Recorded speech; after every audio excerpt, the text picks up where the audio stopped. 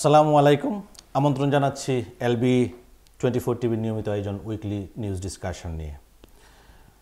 আপনারা জানেন যে এই অনুষ্ঠানে সপ্তাহের ঘটে যাওয়া বিভিন্ন গুরুত্বপূর্ণ এবং কমিউনিটি ঘনিষ্ঠ সংবাদ নিয়ে আমরা আপনাদের সামনে হাজির হই। আজকের অনুষ্ঠানে একজন আলোচক হিসেবে উপস্থিত আছেন। এই আলোচক যিনি, তিনি আমাদের দেশেরই খুব নামকরা ব্যক্তিত্ব।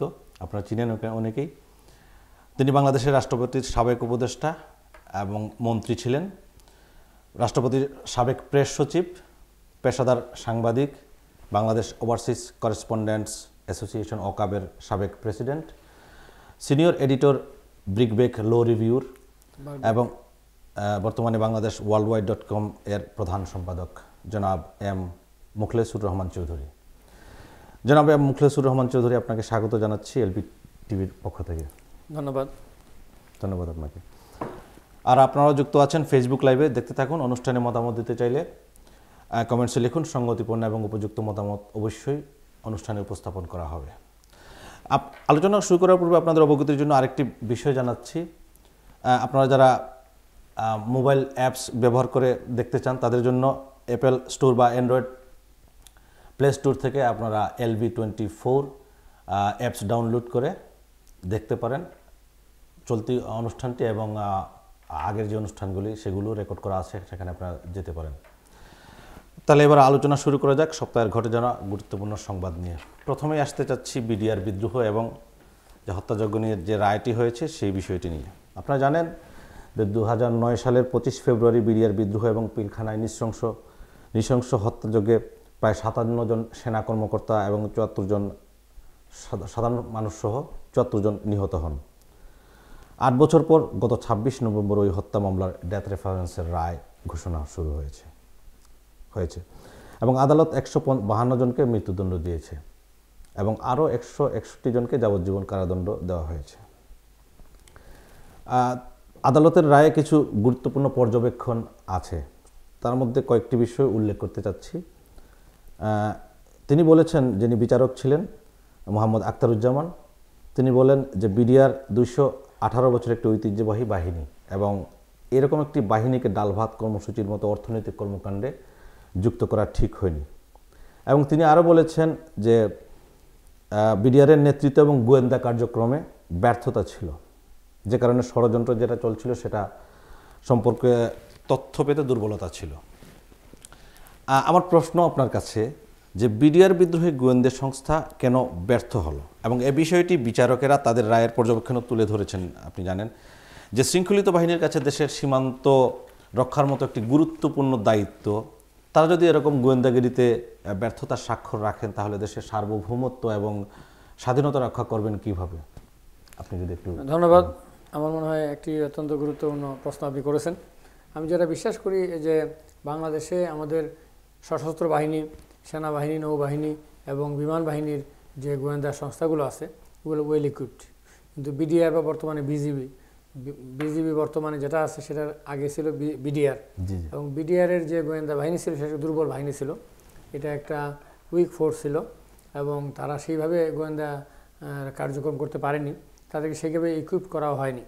এবং ফলে যখন দুই সাত সাত থেকে দুই আট পর্যন্ত আটই ডিসেম্বর মানে দুই হাজার নয়ের শুরু পর্যন্ত বিডিআরের ঘটনার আগ পর্যন্ত আপনার মানুষের মধ্যে একটা ক্ষোভ আপনার বিরাজ করছিল এবং সেনাবাহিনীর বিরুদ্ধে।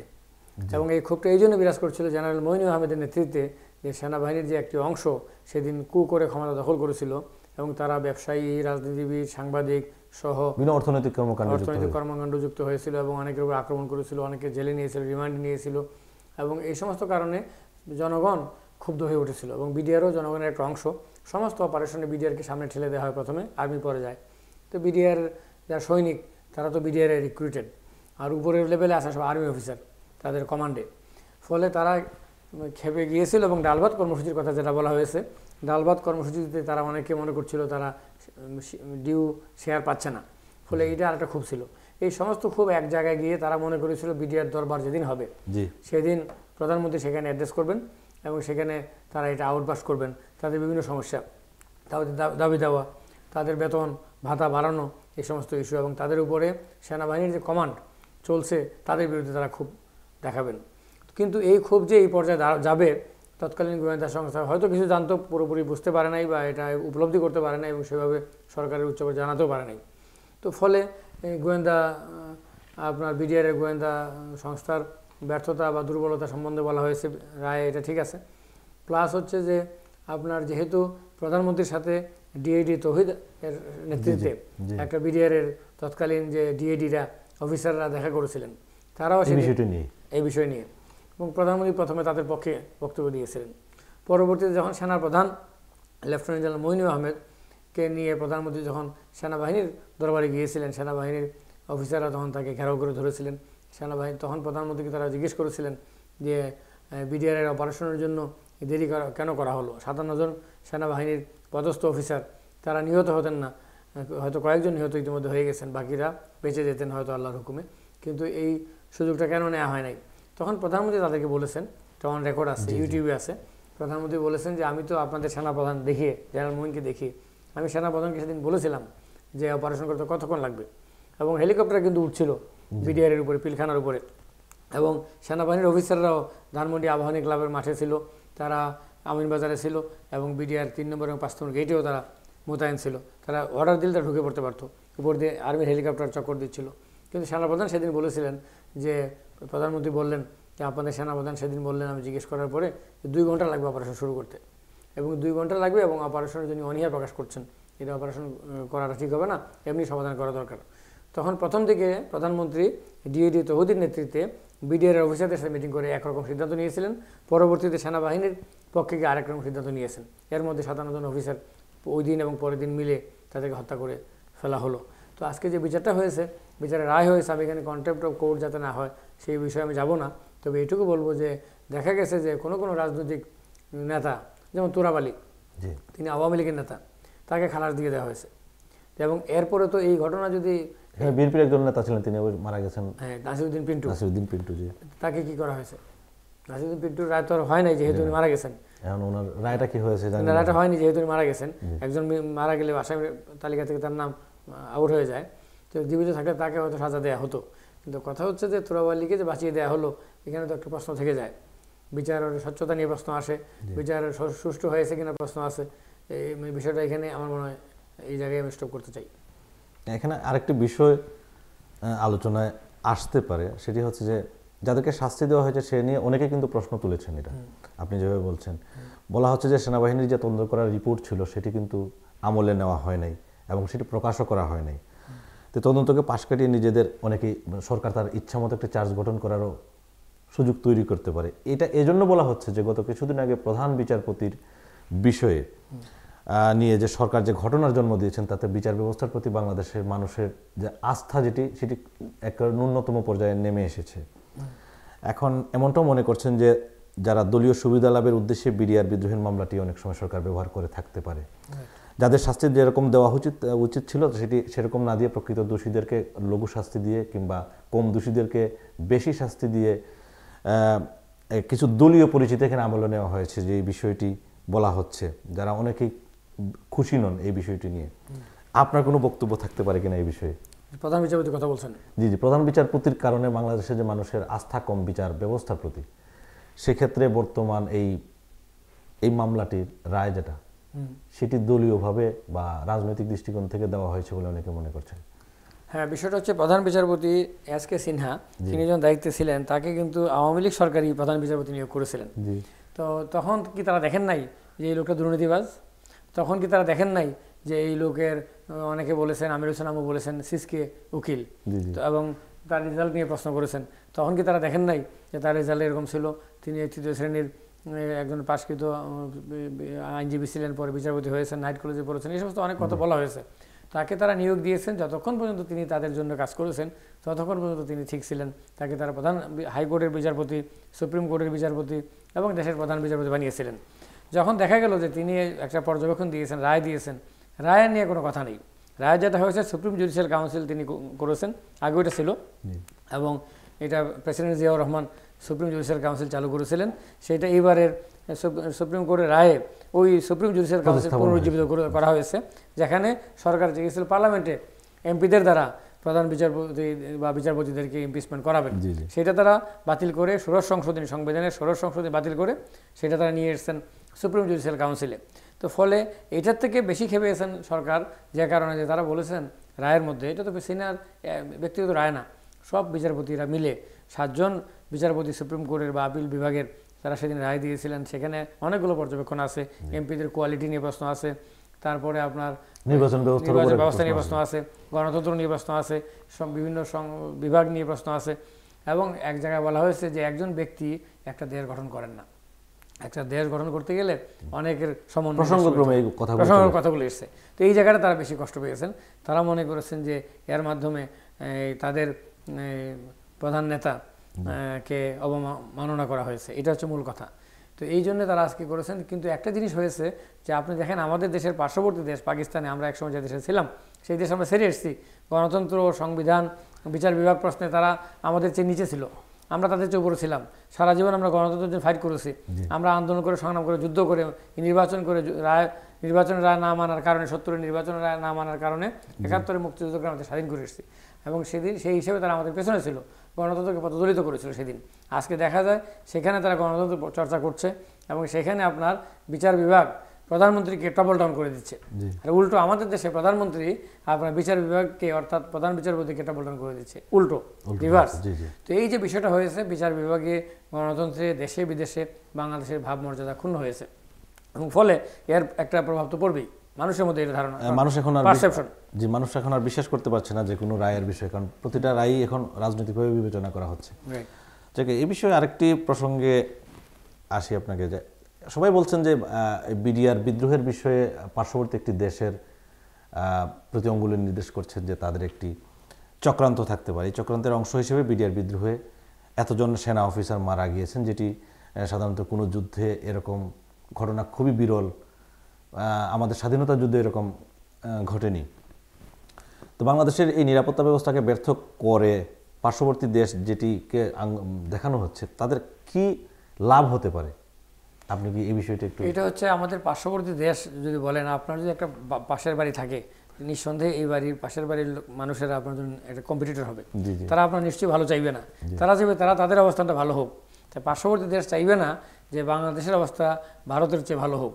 এটাই সাধারণ স্বাভাবিক বিষয়। তো ফলে আজকে দেখেন বাংলা ভারতের যে পার্শ্ববর্তী দেশগুলো আছে নেপাল ভুটান মালদ্বীপ শ্রীলঙ্কা আপনার বাংলাদেশ পাকিস্তান। এই সমস্ত দেশগুলো ভারতের পার্শ্ববর্তী দেশ। তো এই সমস্ত দেশের মধ্যে পার্শ্ববর্তী হিসেবে বাংলাদেশ শনয় শনয় উন্নতি করে যাচ্ছে। যদিও আমাদের পলিটিক্যাল প্রবলেম আছে। আমাদের পলিটিক্যাল ডিসকর্ড আছে এনমিটি আছে মিস্ট্রাস্ট আছে সাসপিশন আছে। আমাদের পলিটিক্যাল পার্টিগুলো এনমিটি করে মারামারি করে। আপনার সেই তারপরেও তত তত সত্ত্বেও আমাদের জিডিপি বেড়ে চলেছে। আমাদের গার্মেন্টসের ইনকাম সিরামিক্স আমাদের ইউএন মানে এগুলো আটকানো যাচ্ছে না। এগুলো আমরা এগিয়ে যাচ্ছি সামনের দিকে। Ship breaking United Nations peace keeping অনেক ক্ষেত্রে। তো ফলে আমাদের এই যে উন্নতি আমাদের যে আপনার অবস্থান যে উপরের দিকে যাচ্ছে নিশ্চয়ই তারা এটা ভালোভাবে নেবে না। তারা চাইবে আমাদের একটা মার্কেট বানিয়ে রাখতে বাজার বানিয়ে রাখতে কলোনি বানিয়ে রাখতে। কন্ট্রোলে রাখা। কন্ট্রোলে রাখতে। এটাই তো এখানে উদ্দেশ্য। তাহলে এই কন্ট্রোলের অংশ হিসেবে কি আমি বলতে পারি আপনাকে যে সাংস্কৃতিক আগ্রাসন যেটি চলছে ফেন্সিডিল বা ইয়াবার সাপ্লাই বাড়িয়ে দেবো অন্য দেশে কিন্তু এগুলো নাই পার্শ্ববর্তী দেশে কিন্তু ফেন্সিডিল বা ইয়াবার নেই।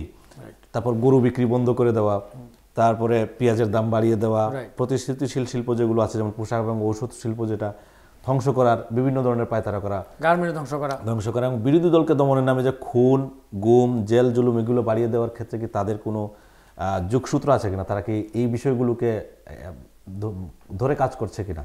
তারা যেটা করছে আমাদের পলিটিক্সে মানে ইন্ডিয়া এমবেডেড হয়ে যাচ্ছে। যেমন ধরেন সালাউদ্দিন আহমেদ আমাদের একজন রাজনীতিবিদ এবং তিনি প্রতিমন্ত্রীও ছিলেন। তিনি এমপি ছিলেন তিনি সরকারের একজন অফিসার ছিলেন বিশেষ ক্যাডারের তাকে ইন্ডিয়াতে পাওয়া গেল। গুম হলে তিনি বাংলাদেশে আর পাওয়া গেল ইন্ডিয়াতে ইন্ডিয়াতে এরপরে সুখরঞ্জন বালি আপনার আমাদের মাওলানা হোসেন সাইদির আপনার বিচারের মামলার একজন সাক্ষী ছিলেন। তিনি সেদিন সাক্ষী দিতে এসেছিলেন কোর্টে সাইদি সাহেবের পক্ষে। যদিও তিনি হিন্দু কিন্তু এই জন্য যেহেতু সাইদি সাহেবের পক্ষে তিনি সাক্ষী দেবেন এই জন্য তাকে কোর্টের মানে আপনার কাঠিয়ার থেকে কোর্টের জাস্ট বাইরে থেকে তাকে সেদিন গুম করে নেওয়া হলো। এবং তাকে পাওয়া গেলো ইন্ডিয়ার জেলে কলকাতার জেলে। তো এই যে বিষয়গুলো দুটো বিষয় আমি দেখালাম। তো বিষয়টা হচ্ছে ইন্ডিয়ান হেজিমনি আমাদের দেশে চলছে। আমাদের দেশের মানুষেরা আজকে আমি বুঝি না আমরা আমাদের সংগ্রাম করব সেই সংগ্রাম আমাদের যদি ক্ষতি করে পাকিস্তান তার বিরুদ্ধে যেমন আমরা করব যদি ইন্ডিয়া আমাদের বিরোধিতা করে আমাদের ক্ষতি তার বিরুদ্ধে করব। আমরা একটা কথা বলা হয় যে পিন্ডি সেরিসি দিল্লি যাব না। আমরা তো মাথা উঁচু করে দাঁড়াবো। সেটা তো শেখ মুজিবুর রহমানই বলতেন। শেখ মুজিবুর রহমান বলতেন। আজকে শেখ মুজিবুর রহমান যে কথাটা বলতেন যখন উনিশশো চুয়াত্তর সালে উনি যখন এই লাহোরে ওআইসি সামিটে গেলেন তখন সেদিন যখন ক্যাবিনেট মিটিং করছেন যেদিন যাবেন তার আগের দিন। সেদিন মন্ত্রিসভার মিটিংয়ের মধ্যে শেষ মিটিংয়ের শেষ পর্যায়ে তিনি বললেন যে আগামীকাল আমি লাহোরে ওআইসি সামিটে যাব। তখন সেদিন তাজুদ্দিন আহমেদ আপনার প্রধানমন্ত্রী ওই রাষ্ট্রপতি শেখ মুজিবুর রহমানকে বললেন যে বঙ্গবন্ধু একটু ইন্দিরা গান্ধীকে বলে নিলে হয় না ইন্ডিয়ার প্রাইম মিনিস্টার? তিনি ধমক দিলেন আমি একটা স্বাধীন রাষ্ট্র সার্বভৌম রাষ্ট্র আমার ইন্দিরা গান্ধীর পারমিশন নিতে হবে কেন? এবং এই কথাটা যেভাবে হোক ইন্দিরা গান্ধীর কানে পরে চলে গিয়েছিল। তো বিষয়টা হচ্ছে আমাদের মধ্যে এরকম মানসিকতা আমাদের কিছু লোকের মধ্যে কাজ করে এবং আমি দেখি বাংলাদেশের কিছু সাংস্কৃতিক ব্যক্তিত্ব আপনার কিছু সাংবাদিক এক শ্রেণির রাজনীতিবিদ তথাকথিত বুদ্ধিজীবীরা আপনার ভারতের পদলহন করেন। তারা ভারতের দালালি করেন। তারা বাংলাদেশের স্বার্থের চেয়ে ভারতের স্বার্থ বেশি করে দেখেন। এবং শুধু এটা না আমাদের তো রিলিজিয়ন বাদেও আমরা তো মডারেট মুসলিম। আমরা তো ফ্যানাটিক না আমরা মৌলবাদী না। আপনারা দেখেন বাংলাদেশে এক শ্রেণির আপনার মুসলমান আছে তার নামে মুসলমান যখন কোরআন শরীফে আঘাত করা হয় তারা এটা ফেসবুকে কোরআন শরীফে আঘাত করা তারা এটাকে নিয়ে কথা বলতে চায় না। যখন এর রিয়াকশনে যারা এটা করে ব্লগাররা বা অন্যরা রিসেন্টলি হয়েছে যখন রংপুরে। হয়েছে এর পরিপ্রেক্ষিতে টিটু রায় সে করেছে স্বীকারও করেছে রিমান্ডে গেছে স্বীকারও করেছে জেলে আছে তার বিচার হচ্ছে। এবং তখন টিটু রায় যে এই কাজটা করেছে এটা কিন্তু তারা বলে না। নাসিরনগরে কিছুদিন আগে ব্রাহ্মণবাড়ি সেখানে বলা হয় যে কেউ তার নামে দিয়ে দিয়েছে হ্যাঁ, এরকম ওখানে তারা এই কথাগুলো বানিয়ে ফেলায় সে বলে আমি করেছি। নাসিরনগর ব্রাহ্মণবাড়ি নাসিরনগর এই কাজ করেছে।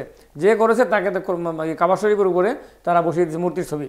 এবং এই কথাটা তারা চেপে যায় বেমালুম চেপে যায়। তারা ওই তখন এর অ্যাকশনের রিয়াকশনে যখন হবে প্রত্যেকটা কাজেরই তো নিউটনের তৃতীয় সূত্র অনুযায়ী একটা সমান বিপরীত রিয়াকশন আছে। তো যখন রিয়াকশনটা হয় তখন তারা ওই রিয়াকশনের সমালোচনা করে। এর আগে কোথেকে এটা উৎপাত হয়ে উৎপত্তি হয়েছে এটা বলে না। তো আমাদের এই সমস্ত কিছু জ্ঞান পাবি কিছু অন্ধ তারা নিজের নামে মুসলমান ইসলামের বিরুদ্ধে কাজ করে। আপনি দেখেন ভারতের সবচেয়ে বড় মৌলবাদী দল হচ্ছে বিজেপি। আজকে সেখানে ক্ষমতায়। বিজেপি মুসলমানদেরকে হাজার হাজার মুসলমানদের গুজরাটে তারা মেরেছে রায়ট করে কিছুদিন পর পর। এবং বিজেপি ক্ষমতায় আসলে তো বিজেপির বিরুদ্ধে তারা কিছু বলে না। তো বিষয়টা হচ্ছে আপনার যে কোনো দেশে যদি আমেরিকাতে আজকে ট্রাম্প আপনার গডের নামে খ্রিস্টান ধর্মের নামে এই দেশে ইউরোপে সব দেশে এখন ধর্মের নামে রাজনীতি চলছে। আপনার ধর্ম আপনার আইডেন্টিটি এটাকে বাদ দিতে পারবেন না আপনি। এবং বিষয়টা হচ্ছে এটা একটা রাজনীতির উপাদান। আজকে আওয়ামী লীগ হেফাজতের সঙ্গে মিটিং করে করে না?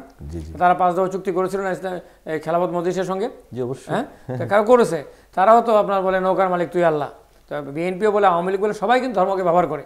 আর মুখে ধর্ম নিরপেক্ষ সম্পর্ক ছিল। হ্যাঁ জামাতের সাথে আন্দোলন করেছে ক্যাটাগর গভর্নমেন্ট আন্দোলন তিন বছর চুরানব্বই ছিয়ানব্বই করেছে একসাথে বসেছে প্রেস ব্রিফিং করেছে এবং তারা সাংবাদিকদের ফেস করেছে আন্দোলন করেছে। এতে কোনো দোষের কিছু দেখা হয় না।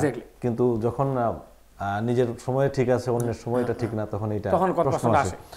আচ্ছা বিডিআ আমরা আমরা একটু বিরতিতে যাব। বিরতি যাওয়ার আগে একটি প্রশ্ন বিডিআর নিয়ে করতে চাই। ছোট্ট করে যদি বলেন আর কি। যে বিডিআর বিদ্রোহ এটা এটা কিন্তু দুশো আঠারো বছর একটি ঐতিহ্যবাহী সংগঠন এবং ইপিআর থেকে বিডিআর এভাবে চলে এসেছে নামটা। তো দেখা যায় যে ওই ঘটনার পরপরই কোনো ধরনের কোনো গ্রাউন্ড ছাড়াই হঠাৎ করে এর নাম এবং ড্রেস বদলানোর একটা আহ, বিষয় নিয়ে আসা হয়েছে। এবং সেটি অনেকেই ধারণা করছেন যে সেটি পার্শ্ববর্তী দেশের আদলে হয়েছে। বিজিবি নামটা এবং প্লাস ড্রেসের ইয়েটা কালারটাও ওই রকমই প্রায়। তো এইরকম বিষয়টি সরকার কেন করতে চাচ্ছেন? সেটা কি পাকিস্তানকে এই ইপিআর নামটি বাদ দেওয়ার জন্য এবং ওই ড্রেসটা ইয়ে করার জন্য? এটিতে এটা হচ্ছে আমাদের দেশের যদি কথা কথা এক শ্রেণির লোক বঙ্গবন্ধু বঙ্গবন্ধু বলেন। অথচ বঙ্গবন্ধুকে নামটা করেছেন বিডিআর এবং বঙ্গবন্ধুর কথা যদি বলা হয় তাহলে বঙ্গবন্ধুর বিরুদ্ধে কাজটা করা হয়েছে। বিডিআর নামটা ওনার দেওয়া। উনি সেদিন করেছিলেন। এবং বিডিআর নামটা বাতিল করার জন্য যেটা বলা হয় যেটা মিট হিসেবে বাজারে চালু আছে যে আপনার এই এর আগে আওয়ামী লীগ যখন ক্ষমতা ছিল তখন মেজর জেনারেল ফজলুর রহমানের নেতৃত্বে আপনার বিডিআর এবং ইন্ডিয়ার বিএসএফ যখন আপনার রৌমারিতে আপনার দুই দেশের মধ্যে একটা ছোটোখাটো একটা যুদ্ধ হয়ে গেল সেই যুদ্ধে ষোলো জন ইন্ডিয়ান বিএসএফ অফিসারকে মারা হলো। তারা বাংলাদেশে আক্রমণ করেছিল রৌমারিতে পাদুয়াতে এবং যখন বাংলাদেশ যখন রিটালিয়েট করল মানে উল্টা যুদ্ধে গেল তখন সরকারিভাবে বলা হচ্ছে ষোলো জন বেসরকারিভাবে নাকি অনেক ইন্ডিয়ান একশোর উপরে শুনেছি। মেরে ফেলা হয়েছিল।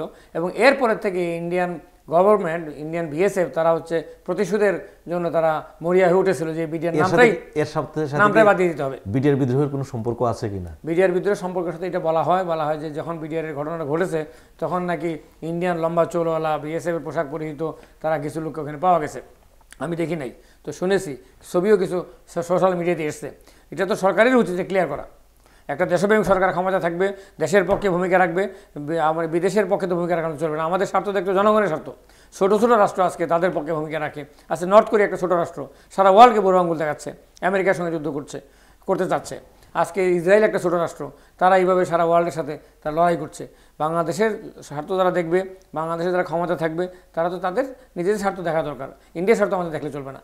জোর করে ক্ষমতা থাকা যাবে কিন্তু যখন সময় আসবে তখন যখন গণেশ উল্টে যাবে তখন কিন্তু ইন্ডিয়া রক্ষা করতে পারবে না। না ইন্ডিয়ার অনেক দুর্বলতা আছে যেমন। সেভেন সিস্টার্স নিয়ে তাদের দুর্বলতা আছে। তারা বললেই বাংলাদেশের সাথে যে কোনোভাবে যুদ্ধে জড়াতে পারবে না।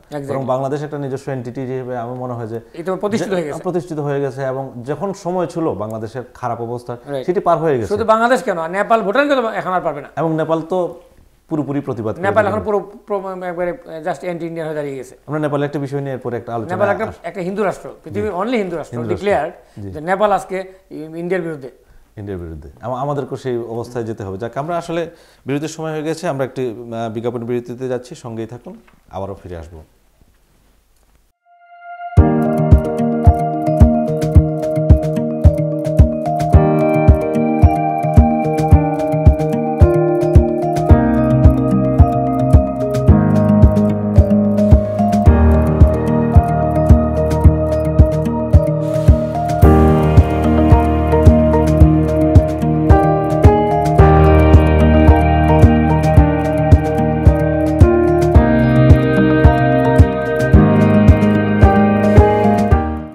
Sale, sale, sale. Massive clearance sale is going on from 1st November 2017. Salma Designer Abaya House is giving you up to 70% off on all designer abaya, 60% off on designer kaftan, 50% off on waistcoat, 50% off on Islamic books, 500 gram ajwa dates only for 10 pounds, and many more items. Visit our store to get this clearance sale. Salma Designer Abaya House, 118 Whitechapel Road, London E11JE. Telephone 02 070182375.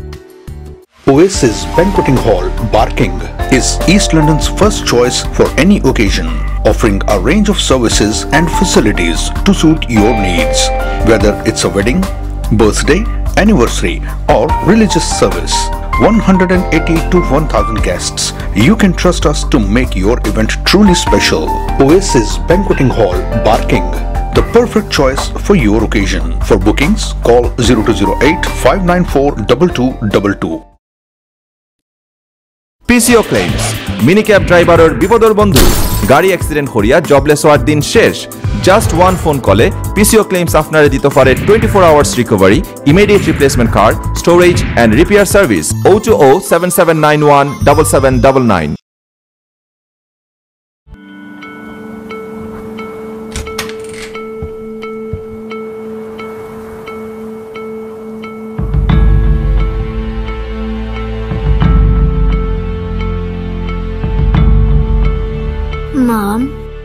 isn't Dad come back home? When a marriage breaks down, children suffer the most. If you are in this situation, we are here to help. For Child and Family Matters, Kingdom Solicitors. Sale sale sale Salma designer abaya হাউসে clearance sale পহেলা November দুই হাজার সতেরো থেকে। Salma designer আবায়া house দিচ্ছে সকল আবায়ের উপর সর্বোচ্চ সত্তর পার্সেন্ট মূল্য ছাড়। কাফতানের উপর সর্বোচ্চ ষাট পার্সেন্ট ওয়েস্টকোটের উপর সর্বোচ্চ পঞ্চাশ পার্সেন্ট পাঁচশত গ্রাম আজোয়া খেজুর মাত্র দশ পাউন্ড এবং ইসলামিক বইয়ের উপর রয়েছে সর্বোচ্চ পঞ্চাশ পার্সেন্ট মূল্য ছাড়। আজই আসুন এবং আমাদের ক্লিয়ারেন্স সেল অফার গ্রহণ করুন। Salma designer abaya house one one eight Whitechapel road London E one one J E telephone o two o seven zero one eight two three seven five Hello there. Legal Taxis mobile app is an amazing cloud-based taxi booking solution. The taxi drivers and passengers can access this application anytime and anywhere. Are you trying to call up a taxi? Well, don't waste your precious time anymore. And now, you can book your taxi at ease. Do you want to know how? It's so simple. Download the Legal Taxis app from the App Store. Enter the location manually or drag the balloon where you want the pickup and drop to happen. Legal Taxis application shows the taxis nearby. On a single click, your request is sent to the nearest driver. The taxi driver will receive your request and accept it instantly. In return, you will receive the notification and you could check the current location of the taxi with the estimated time to reach your pickup location. At the end of your journey, you will receive the receipt of taxi fare in your mobile app. Legal Taxis app not only allows you to book regular taxis but also black cabs, mini cabs, and hackney carriages. Book your taxi today for a great voyage at Legal Taxis. শুধু দর্শক মণ্ডলী বিরতির পর আবার ফিরে আসলাম LB twenty four টিভির weekly news discussion অনুষ্ঠানে আমাদের সাথে আলোচক হিসেবে উপস্থিত আছেন বাংলাদেশের রাষ্ট্রপতির সাবেক উপদেষ্টা মন্ত্রী পদমর্যাদার এবং সাবেক প্রেস সচিব রাষ্ট্রপতির জনাব এম মুখলেসুর রহমান চৌধুরী। আমরা আলোচনা করছিলাম বাংলা বিভিন্ন গুরুত্বপূর্ণ সংবাদ নিয়ে, সপ্তাহের ঘটে যাওয়া। তো এখন আমরা আসছি বাংলাদেশের নির্বাচনী আলোচনা নিয়ে। এই বিষয়টি এখন বাংলাদেশে তুঙ্গে। আপনারা জানেন যে সংবিধান অনুযায়ী মেয়াদ উত্তীর্ণ হওয়ার আগে তিন মাসের মধ্যে নির্বাচন অনুষ্ঠিত হতে হবে। সেটির বিধান রয়েছে সংবিধানে। এবং এতে আগামী ডিসেম্বর বা জানুয়ারিতে নির্বাচন অনুষ্ঠিত হওয়ার কথা। এদিকে আগামী এপ্রিলে রাষ্ট্রপতি হিসেবে অ্যাডভোকেট আব্দুল হামিদ, আব্দুল হামিদের মেয়াদ শেষ হবে এবং দু হাজার তেরো সালের চব্বিশ এপ্রিল তিনি রাষ্ট্রপতি হিসেবে শপথ গ্রহণ করেছিলেন। এটি চব্বিশে এপ্রিল, আগামী চব্বিশে এপ্রিল উত্তীর্ণ হবে। অপরদিকে সেনাপ্রধান মেজর জেনারেল আবু বেলাল মোহাম্মদ শফিউল হকের মেয়াদও ইতিমধ্যে উত্তীর্ণ হয়েছে। উত্তীর্ণ হবে আগামী আগামী বছরেই তো দুটি বিষয়ই সামনে নির্বাচন আগে ঘটনা। এখন অনেকেই মনে করছেন যে আওয়ামী লীগ চাচ্ছে যে আগাম নির্বাচন করে নেওয়ার জন্য, যাতে এই দুই ব্যক্তি থাকার মধ্যেই কিন্তু কারণ দুটি পদ গুরুত্বপূর্ণ নির্বাচনের জন্য এটি যদি ঠিকমতো হ্যান্ডেল না করা হয়, তাহলে পরবর্তীতে একটা সমস্যা হতে পারে নির্বাচন নিয়ে, যেটি বর্তমান সরকার একটি চিন্তার বিষয়। তো আপনি কি মনে করেন যে আগাম নির্বাচন হওয়ার কোনো সম্ভাবনা আছে বলে আপনার মনে হচ্ছে কিনা এই বিষয়টি এই সেগমেন্টে যাওয়ার আগে আমরা যেটা আলোচনা করেছিলাম যে বাংলাদেশের দুইজন ব্যক্তিত্ব ইন্তেকাল করেছেন। আমরা তাদের রুহের মাগফিরাত কামনা করছি। একজন হচ্ছেন একজন মাটির থেকে উঠে আসা একজন আধ্যাত্মিক শিল্পী বাড়ি সিদ্দিকী, আরেকজন হচ্ছেন ঢাকা নর্থের মেয়র আনিসুল হক। আনিসুল হক জি। ইতিমধ্যে তারা জনপ্রিয়তা পেয়েছেন। দলমত যাই হোক বাংলাদেশে যেহেতু তাদের মৃত্যুর ঘটনাটা এর- এরই মধ্যে ঘটেছে আমরা তাদের প্রতি শ্রদ্ধা জানাই। তো যেটা বলেছেন যে নির্বাচন আমি প্রথমেই রুল আউট করে দিতে চাই যে কোনো আগামী আমার অ্যানালাইসিস বলে কোনো আগাম নির্বাচন বাংলাদেশে হবে না। নির্বাচন যথাসময় হবে। এর আগে নিশ্চয়ই আমাদের জনগণের মনে আছে যে শেখ হাসিনা উনিশশো ছিয়ানব্বই সালে প্রথম ক্ষমতায় আসেন বাংলাদেশে। তা দুই হাজার সালে তিনি নির্বাচন করতে চেয়েছিলেন এক বছর আগে। মদিনাতে তিনি ঘোষণা দিয়েছিলেন। কিন্তু মদিনা থেকে যখন তিনি বাংলাদেশে ফিরলেন সৌদি আরব থেকে ফেরার পরে তখন তোফায়ল আমাদের নাসিম তাকে বললেন আমরা একদিন আগে নির্বাচন করব না। এবং যাই হোক তারা তো দাবি করেই দলের নেতা হিসেবে দাবি করেই তাদের নেত্রীকে বললেন। এক পর্যায়ে নেত্রী দেখলেন যে তাদের এমপি পদ আগেই চলে যাচ্ছে মন্ত্রিত্ব চলে যাচ্ছে আবার যদি পাস না করতে পারেন শেষ পর্যন্ত তারা বলেন যে নির্বাচন কিন্তু যথাসময় হয়েছিল তখনও। এইবারও কিছুদিন পরে পরে একটা অক্কা তোলা হয় যে নির্বাচন আগে হয়ে যাবে। যেমন গত নির্বাচন বলা হয়েছিল সং- সাংবিধানিক বাধ্যবাধকতা রক্ষার নির্বাচন এটা। কিছুদিনের মধ্যে তিন মাসের মধ্যেই নতুন নির্বাচন দেওয়া হবে। প্রধানমন্ত্রী শেখ হাসিনা বলেছেন অর্থমন্ত্রী আবুল মান আব্দুল মুহিদ বলেছেন তুবাইল আহমেদ বলেছেন আমির হোসেন আমু বলেছেন আর অনেকেই বলেছেন। কিন্তু দেখা গেছে আমি তখনও বলেছি কোনো মতে তারা নির্বাচনটা করে ফেলতে পারলে তারা নির্বাচনকে নির্বাচনের পরে গঠিত সরকার কন্টিনিউ করবে তারা পূর্ণ মেয়াদ নেবে। এখন যেটা হচ্ছে নির্বাচন তারা আগে করবে না। তারা এর মধ্যে তাদের আরও অনেক এজেন্ডা আছে এগুলো তারা বাস্তবায়ন করবে আমার অভিমত। এবং এরপরে যারা দাঁড়াবে সেটা হচ্ছে যে নির্বাচনটা ডিউ হচ্ছে উনত্রিশে জানুয়ারি দুই হাজার উনিশ থেকে নব্বই দিন বিহাইন্ডের ভেতরে। তো বেচাটা হচ্ছে জানুয়ারির আগের মাস হচ্ছে ডিসেম্বর ডিসেম্বর আগের মাস নভেম্বর নভেম্বর অক্টোবর। অর্থাৎ অক্টোবর থেকে জানুয়ারির মধ্যে নির্বাচন করতে হবে। তো ফলে জানুয়ারির যে তারিখটা আমি বললাম এই তারিখের মধ্যে পার্লামেন্ট গঠিত হতে হবে ইলেকশন কমপ্লিট হতে হবে। নব্বই দিনের ভিতরে। হ্যাঁ এবং নব্বই দিনের মধ্যে ইলেকশন কমপ্লিট হবে কোনো কোনো জায়গায় বাই ইলেকশন হতে হবে কোনো কোনো রি ইলেকশন হবে গোলমাল হতে পারে এরকম ধরে নিতে হয়। ধরে নেওয়ার পরে এক একাধিক আসনে নির্বাচিত হবে সেখানে আসন ছাড়তে হবে বা ইলেকশন করতে হবে পার্লামেন্টটা গঠিত হতে হবে। এবং পার্লামেন্ট গঠিত হওয়ার পরে পার্লামেন্টের এমপিদের গেজেট হবে শপথ হবে শপথ হবে তাদের মধ্যে থেকে মন্ত্রিসভা হবে সরকার গঠিত হবে। এইসব হওয়ার পরে পার্লামেন্টটা গঠিত হয়েছে ধরা নেওয়া হবে স্পিকার হবে চিফ হুইপ হবে মন্ত্রিসভা হবে কিন্তু এইটা এই সময়ের মধ্যে করতে হবে। যদি কোনো কারণে সময়টা ক্রস করে যায় তাহলে সরকার অবৈধ হয়ে যাবে পার্লামেন্ট অবৈধ হয়ে যাবে এবং অবৈধ হয়ে গেলে অসাংবিধানিক কোনো ঘটনা ঘটতে পারে। এটা ধরে নিয়েই সব সময় সব সরকারের আমলে সব দেশে এটা করা হয় যে মেয়াদের মধ্যে নির্বাচনটা করা হয়। সেই হিসাবে অক্টোবরে একটু আর্লি হয়ে যায় তারা করতে কেউ আগে করতে চায় না আমি বলেছি তারা আগে করবে না। নভেম্বরে তারা করবে না ডিসেম্বরে তারা নির্বাচনটা করবে। এবং আমার ধারণা ডিসেম্বরে আঠাইশ অথবা ডিসেম্বরের তিরিশ দুদিনের মধ্যে এক ইলেকশন হবে। নর্মালি আমরা বৃহস্পতিবার নির্বাচন করে থাকি। জি, জি। সেই ক্ষেত্রে ডিসেম্বর আঠাশ তারিখ বৃহস্পতিবার পরে আমার অঙ্ক এটা। তারা এখনও ঘোষণা করে নাই ডেটটা। আর তিরিশ তারিখ শনিবার পরে সম্ভবত ডিসেম্বর আঠাশ তারিখে নির্বাচন দুই হাজার আঠারোর নির্বাচনটা হবে। আপনি আর কি প্রশ্ন করেছিলেন যে বলেছেন রাষ্ট্রপতির মেয়াদ শেষ হয়ে যাচ্ছে বা 24 সেনা প্রধানের মেয়াদও হ্যাঁ আগে রাষ্ট্রপতিটাই বলি। রাষ্ট্রপতির মেয়াদ শেষ হয়ে যাচ্ছে চব্বিশে এপ্রিল। চব্বিশে এপ্রিল হলে মানে তেইশে এপ্রিল চব্বিশে এপ্রিল তিনি শপথ নিয়েছিলেন। জি জি। তো তেইশে এপ্রিল মেয়াদ শেষ হবে একদিন আগে শেষ হয়। তো শেষ হলে পরে চব্বিশে এপ্রিল নতুন একজন নতুন রাষ্ট্রপতি। দায়িত্ব গ্রহণ করবেন। তো ফলে যারা দাঁড়াবে এর আগে রাষ্ট্রপতি নির্বাচনটা করতে হবে টাইমের আগে। এর মধ্যে উনি দায়িত্ব গ্রহণ করতে হবে। তো ফলে যারা দাঁড়াবে সেটা হচ্ছে রাষ্ট্রপতি নির্বাচনের ক্ষেত্রে কেউ কেউ বলেন তারা আব্দুল হামিদ সাহেবকে পুনর্বার রাষ্ট্রপতি নির্বাচন করতে পারেন কারণ একজন রাষ্ট্রপতি না দুইবার তিনি হতে পারেন। এরপরে বার চলে আসবে। এবং কেউ কেউ বলেন যে তালিকার মধ্যে যাদের নাম আছে এর মধ্যে বিচারপতি খায়রুল হকের নাম আছে। কিন্তু বিচারপতি খায়রুল হক আশরাফের আমি যাচ্ছি সেখানে। বিচারপতি এবিএম খায়রুল হক একজন ঘৃণিত ব্যক্তিত্বে পরিণত হয়েছেন বাংলাদেশে। ক্যাটাগরি গভর্নমেন্ট বাতিল করেছেন।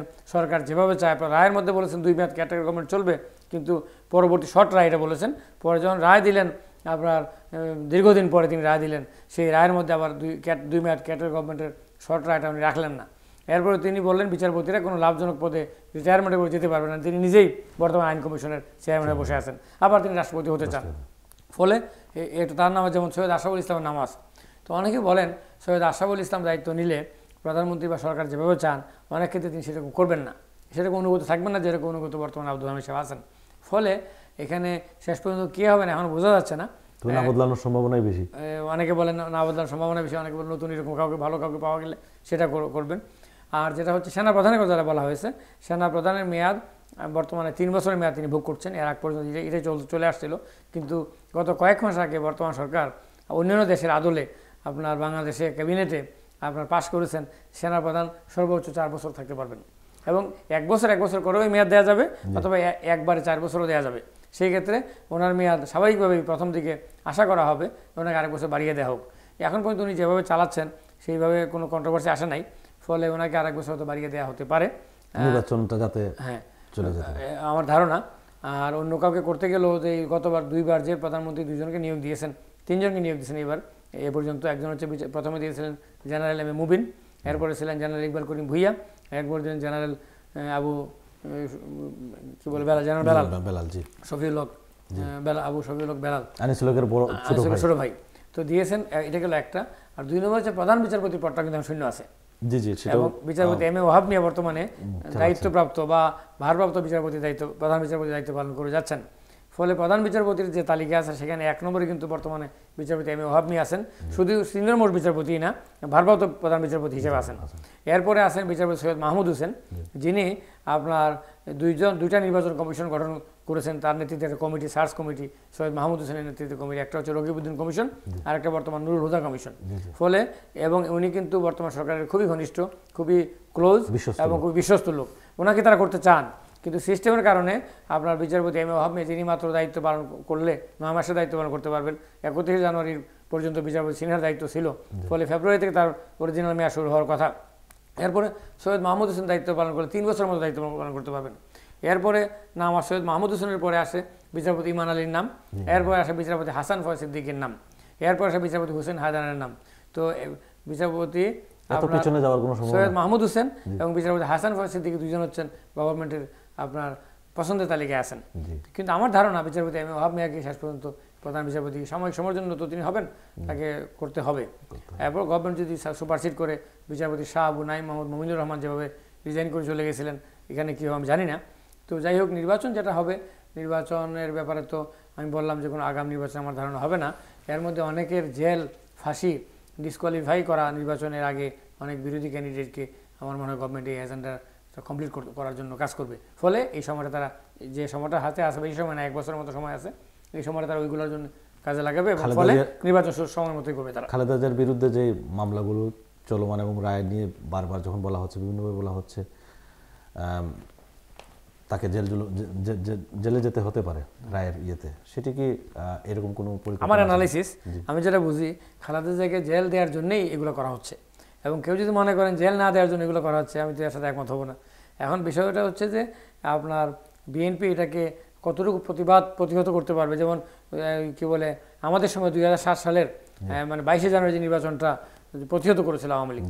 বলতে গেলে আর্মির জেনারেল মইনের নেতৃত্বে সেনাবাহিনীর একটা অংশের সাথে হাত মিলিয়ে। তো বিএনপি যদি আপনার নির্বাচন প্রতিহত করতে পারতো দুই হাজার চোদ্দ সালের আপনার পাঁচই জানুয়ারি নির্বাচনটা প্রতিহত হতো। কিন্তু তারা দুই হাজার চোদ্দ সালের পাঁচই জানুয়ারি নির্বাচনটা তারা করল একতরফা নির্বাচন একশো তিপ্পান্ন আসনে বিনা প্রতিদ্বন্দ্বিতায় সে এর আগে পঁচিশে ডিসেম্বর বড়দিন আপনার উনিশ দুই হাজার তেরো সালের পঁচিশে ডিসেম্বর থেকে বিএনপি এবং বিএনপি নেতৃত্বাধীন দু- জোট তৎকালীন চার দলীয় জোট আন্দোলন বন্ধ করে দিল। বন্ধ করে দেওয়ার ফলে গভর্নমেন্ট সুন্দরভাবে একটা সাজানো একটা নির্বাচন মকারি নামে নির্বাচন করে ফেলল। তো ওই নির্বাচনটা তারা করতে পারতো না। যদি আন্দোলনটা তারা অব্যাহত রাখতো যদি নির্বাচন করে ফেলতে পারতো পনেরো ফেব্রুয়ারির মতো পনেরো দিন বিশ দিন পরে পার্লামেন্টে বাতিল হয়ে যেত নতুন নির্বাচন হতো বিদেশে চাপ দিত এবং আমাদের সেনাবাহিনী ভূমিকা রাখতো। কিন্তু তারা এক বছর তারা আন্দোলন করলেন না এক বছর তারা ঘুমালেন এবং দুই হাজার পনেরো সালের আপনার পাঁচই জানুয়ারি ওই চোদ্দ সালের পাঁচই জানুয়ারির প্রতিষ্ঠা বার্ষিকী থেকে আপনার বিরানব্বইতে তারা আন্দোলন করলেন। কিন্তু বিরানব্বইতে আন্দোলন করে তারা সফল হলেন না। এই কারণে সময় মতো আন্দোলন করতে পারেন এর মধ্যে গভর্নমেন্ট সমস্ত জায়গায় স্পর্শকাতর জায়গায় তাদের লোক সেট করে ফেলেছেন। এবং ওই সময়টা গোয়েন্দা রিপোর্ট ছিল যে নির্বাচন হলে আপনার আওয়ামী লীগ ক্ষমতা আসতে পারবে না। দুই হাজার চোদ্দ সালের পাঁচই জানুয়ারি যে নির্বাচনটা হলো, ওই সময় যদি আন্দোলনটা তারা অক্ষুণ্ণ রাখতো, আন্দোলনটা পনেরোতে আন্দোলন না করে চোদ্দোতে আন্দোলন করতো, তাইলে গভর্নমেন্ট আর দ্বিতীয়বার ক্ষমতা আসতে পারতো না। এবার একটু নেপালের জাতীয় প্রতিনিধি নির্বাচন যেটা আছে, সেটার দিকে যাচ্ছি। নেপাল দীর্ঘ দশ বছর ধরে তারা তাদের নির্বাচন নিয়ে ঝামেলায় আছে। কোনো সরকারই আর টিকছে না। প্রায় দশটি সরকার ইতিমধ্যে তাদের হয়ে গেছে। তো তারা এবার একটি ভিন্ন ধরনের নির্বাচনের দিকে যাচ্ছে এবং আশা করা হচ্ছে যে তাদের একটি স্থিতিশীল সরকার আসবে। গত এরপর তাদের নির্বাচনের যে বিষয়টি হচ্ছে তাদের দুই দিনের নির্বাচন হচ্ছে তাদের এই সংসদীয় নির্বাচন যেটি। এখন আমাদের দেশে কি এরকম কোনো বিষয় আনা যায় যেটি দুই দিন বা চার দিনের নির্বাচন করার জন্য যাতে প্রচুর সংখ্যক কারণ নির্বাচন নিয়ে সবসময় প্রতিটা সরকারই একটি প্রশ্ন রাখে যে নির্বাচন ঠিক হচ্ছে না, ভোট কারচুপি হচ্ছে। এখন তো এই বিষয়টি আরও বড় আকারে ধারণ করছে। তো সেখানে যদি আন্তর্জাতিক প্রচুর পর্যবেক্ষক, তাছাড়া সাংবাদিক বাহিরের, বিশেষ করে দেশের বাইরে থেকে, এবং কয়েকদিনে যদি করা যায়, তাতে কি সমস্যা থাকতে পারে বা কী সুবিধা হতে পারে বিরোধী দলের ক্ষেত্রে সেটি কোনো ভালো ভূমিকা রাখতে পারে কিনা? যেটা হচ্ছে পৃথিবীর বিভিন্ন দেশে একাধিক দিন নির্বাচন হয়। এমনকি আমাদের পার্শ্ববর্তী দেশ ভারতে ভারতে সব কিছুতে খারাপ ইন্ডিয়াতে সব কিছু খারাপ এমন কোনো কথা না। ইন্ডিয়ার অনেক ভালো জিনিসও আছে। তো ফলে ইন্ডিয়াতে একাধিক দিন নির্বাচন হয়। আরও অনেক দেশে এরকম হয়। আমেরিকাতেও বিভিন্ন নির্বাচন এভাবে একাধিক দিনে হয়। তো আপনার যেটা দাঁড়াচ্ছে সেটা হচ্ছে যে একাধিক দিন নির্বাচন করা যায়। কি নেপালে যেটা হচ্ছে নেপাল কিন্তু তারা ডেমোক্রেসি প্র্যাকটিস করছে। ইভলভ হচ্ছে তাদের সিস্টেমটা ইনোভেটিভ সিস্টেম তারা চালু করছে। এটা ভালো দিক। তো আমাদের দেশে আমরা নেপালের চেয়ে আমরা বড়। আমাদের জনসংখ্যা বেশি।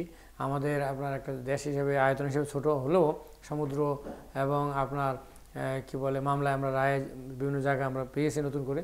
দেশের আয়তনও বেড়েছে বাট এরপরে আমাদের জনসংখ্যা একটা বিরাট ফ্যাক্টর আমরা ওয়ার্ল্ডের eight largest country population wise তো ফলে আপনার বাংলাদেশের যে ব্যবস্থা আমরা একাধিক নির্বাচন করতে পারি সমস্যা নাই। একদিনও আমরা নির্বাচন করতে পারি। আমাদের যারা সেই লজিস্টিক সাপোর্ট আমাদের আছে। কিন্তু বিষয় একদিন বা একাধিক দিন সমস্যাটা না সমস্যাটা হচ্ছে আমাদের একদল নির্বাচন জোর করে ক্ষমতা থাকতে চায় আর নির্বাচন হওয়ার পরে যে দল জিততে পারেন না সেই দল আমাদের দেশে নির্বাচন রায়টা মানতে চায় না। এরকম একটা বিষয় আছে।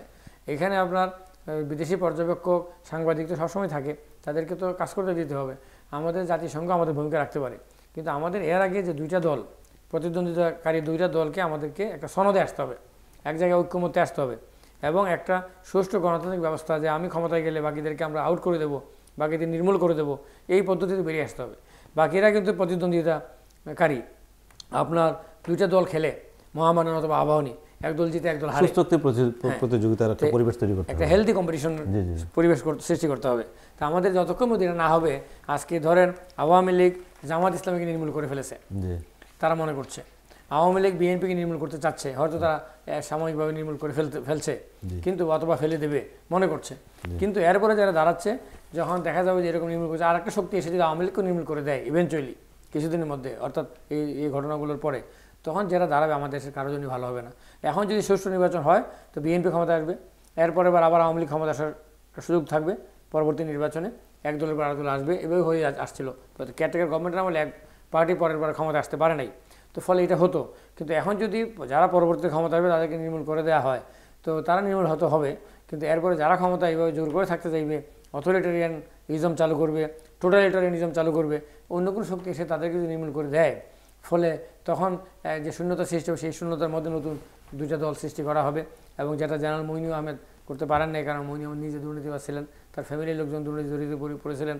সেখানে আপনার সংস্কারপন্থী, অসংস্কারপন্থী পক্ষের বিপক্ষের বিভিন্ন ব্যবসায়ী রাজনীতিবিদ সাংবাদিক বিভিন্ন মহলকে তারা অ্যারেস্ট করেছিলেন। পক্ষে থাকলে আপনার বেশি দুর্নীতি হলেও অ্যারেস্ট করা হয় নাই বিপক্ষে কম দুর্নীতি হলেও পঞ্চাশ মানে হাজার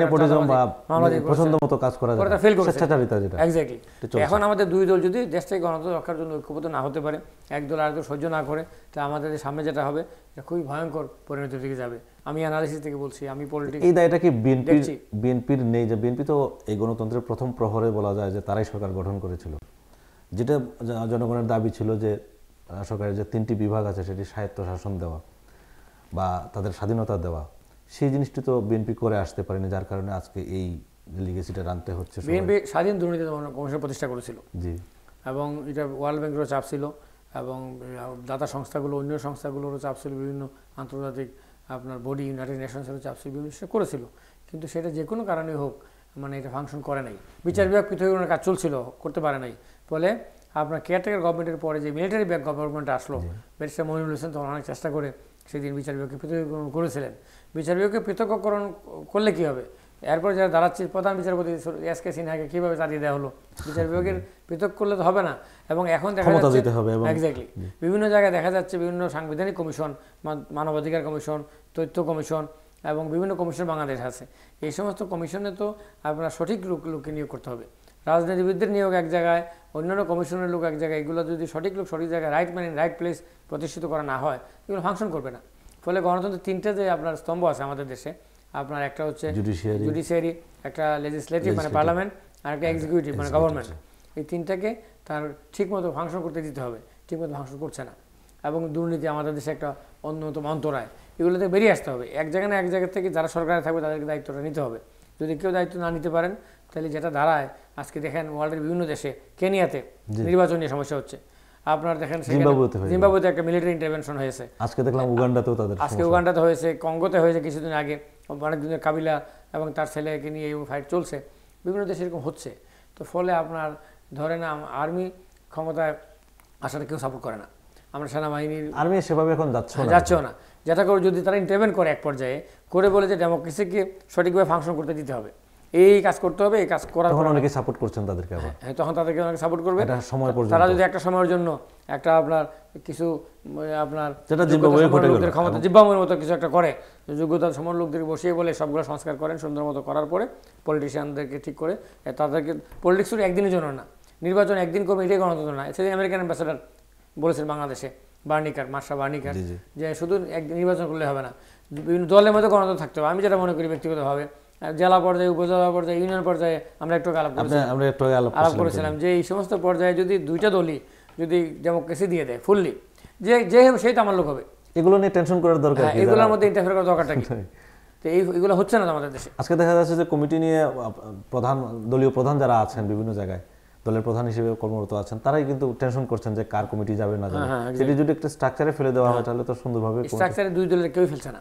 ফেলছে না এবং দুই দলের সমস্যা এবং এই যে আর্মি ক্ষমতা দখল করেছিল তখন তারা বাধ্য করেছিল দুইটা দলকে যে সংবিধান দলের গঠনতন্ত্র চেঞ্জ করার জন্য তারপরে আপনার কি বলে দলের গঠনতন্ত্রের কপি রেজুলেশনের কপি কাউন্সিলের কপি দুই বছর পর পর কাউন্সিল করা তিন বছর পর পর কাউন্সিল করা কপি ইলেকশন কমিশনে জমা দেওয়া। এগুলো তারা করেছিলেন। তৃণমূল থেকে প্রার্থী নাম আসতে হবে এগুলো করেছিলেন। এবং বলা হয়েছিল যে স্থানীয় সরকার নির্বাচন যেটা উপজেলা পর্যায়ে ইউনিয়ন পর্যায়ে কিন্তু পৌরসভা সিটি কর্পোরেশন পর্যায়ে নিরপেক্ষ লোককে নির্বাচন হ্যাঁ দুই দলের পক্ষ থেকে লোক আসতো কিন্তু মার্কা নিয়ে আসতো না। নৌকা বা ধানের নিয়ে আসতো না। কিন্তু এই আওয়ামী লীগ ক্ষমতায় এসে এটাকে আবার দলীয়করণ করে ফেলছে। অর্থাৎ সারাটা বাংলাদেশকে পলিটিক্যালি নিচের লেভেল থেকে উপর লেভেল ডিভাইড করে ফেলেছে। আমাদের অন্য দেশে হয় ইলেকশন পার্টি ওয়াইজ হয় কিন্তু এরকমভাবে ডিভাইসিভ পলিটিক্স হয় না। আমাদের দেশে এমন পর্যায়ে পলিটিক্স নিয়ে গেছে বিয়ে শাদী জানাজাতে পর্যন্ত যাওয়া যায় না। মানে ডিভাইডে করে ফেলেছে। গেলে খারাপ হয়ে যায়। এটা এইভাবে চলতে পারে না। আমরা চাই যে আসলে দেশে প্রকৃত গণতন্ত্র ফিরে আসার জন্য যে স্ট্রাকচার দরকার রাজনীতিবিদরা উঠে আসার জন্য, বিশেষত ব্যাক বেঞ্চারাই রাজনীতি করছেন এখন আমি মনে করি স্কুল, কলেজে যারা ব্যাক বেঞ্চার আমি তাদেরকে দোষ দিচ্ছি না, এটা সিস্টেমের কারণে তাদেরকে আসতে হচ্ছে এখানে, কিন্তু রাজনীতিতে মেধার দরকার আছে, মেধাবীরা আসতে হবে, এবং সেই পথ তৈরি করে দিতে হবে, যার কারণে আজকে বাংলাদেশ এই খারাপ অবস্থা একটা বিষয় নিয়ে আলাপ করতে চাচ্ছি আমরা, এই টিলিপ সিদ্দিকের একটি বিষয়। তার একটি মন্তব্য প্রচুর আলোচনার বিষয় হয়ে দাঁড়িয়েছে দেশে বিদেশে। আপনি জানেন যে তুলিপ সিদ্দিকী এখানের কিলবান এবং হ্যামস্ট্রিডের লেবারের একজন গুরুত্বপূর্ণ এমপি এবং তাকে ধরে নেওয়া হচ্ছে যে তার সামনে কয়েকজন ভালো রাজনীতিবিদ হিসেবে উঠে আসার একটা ইয়ে। এবং বাংলাদেশি হিসেবে আমরা এটা গর্ববোধ করি। কিন্তু এই কয়েকদিন আগে চ্যানেল ফোরের একজন সাংবাদিককে তিনি একজন নারী ব্রিটিশ নারী যিনি ইরানে অন্তরীণ আছেন তাদের তার কিছু সমস্যার কারণে তার নাম হচ্ছে নাজনীন জাগারির তার মুক্তি দাবিতে তিনি প্রচারণা করছিলেন। সেই সময় এই চ্যানেল ফোরের এই সাংবাদিক তাকে বাংলাদেশের কিছু বিষয় উপস্থাপন করেছেন। সেখানে জামাতে ইসলামীর নেতা মীর কাশেম আলী তার ছেলে বিন কাশেমকে গুম করা হয়েছে দু হাজার ষোলো সালে। আহমেদ বিন কাশেম। আহমেদ বিন কাসেম জি।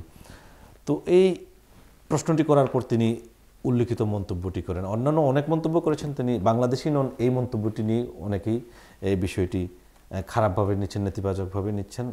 তিনি যেটা বলেছেন সবাই আহত হয়েছেন এই বিষয়টি নিয়ে যেটি কেউ আশা করেননি। এবং অনেকে আশা করছিলেন যে টিউলিপ সিদ্দিকির মতো নেতারা যদি বাংলাদেশের রাজনীতিতে যুক্ত হতে পারতেন তার সেই সুযোগও ছিল। কারণ তিনি তো ব্রিটিশ বাংলাদেশি ব্রিটিশ বাংলাদেশি তিনি। তিনি যেতে পারতেন। তাদের হয়তো রাজনীতির একটা গুণগত পরিবর্তন আসতে পারতো কিন্তু এই- এই মন্তব্যের পর অনেকেই হতাশ।